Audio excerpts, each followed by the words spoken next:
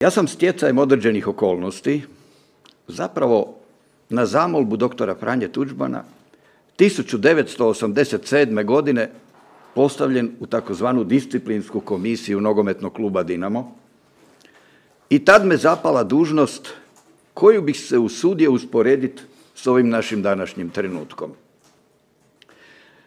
Skupa sa legendarnim nogometašem Dinama Čončem potpisao sam dokument o izbacivanju onodobnog šefa Zagrebačke udbe iz nogometnog kluba Dinamo. Nemojte mi zamjeriti, ali takav događaj i ovo što se danas biva u Dinamo, Dinamu, vidim u direktnoj svezi.